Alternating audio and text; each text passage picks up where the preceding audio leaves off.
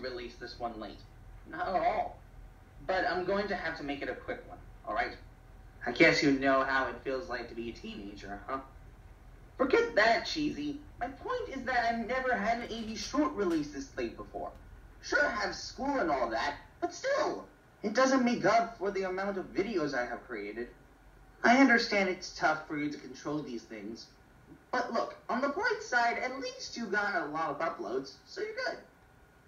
I guess that makes sense. After all, my channel has grown a lot lately, so not too bad. I'll just go see what's on the internet for now, alright? Fine by me. I'll meet you at lunchtime when you're done. Works for me. More coming soon.